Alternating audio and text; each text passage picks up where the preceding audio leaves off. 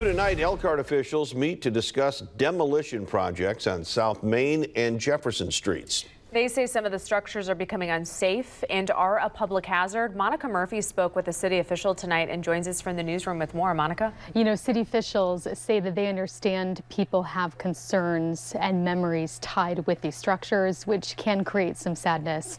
But like you guys mentioned, these buildings are really unsafe and they have to go.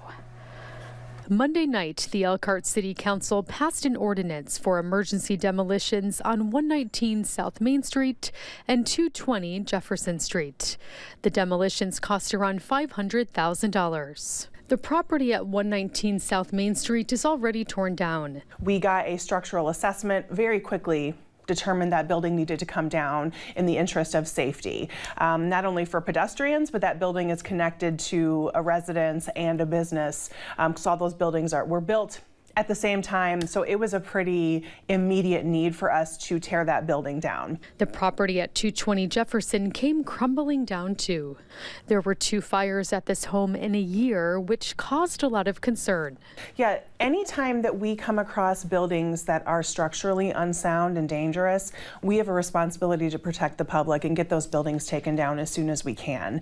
There's also an aspect of it that it opens up these areas for additional redevelopment. The Redevelopment Commission also met earlier in the day for a special meeting to award a bid for property on 1000 South Main Street near St. Vincent's Catholic Church. These buildings have been abandoned for quite some time, and they are getting to the point where structurally they need to come down.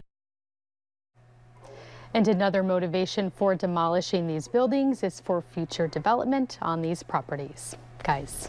Monica Murphy in the newsroom for us tonight. Monica, thanks for the update.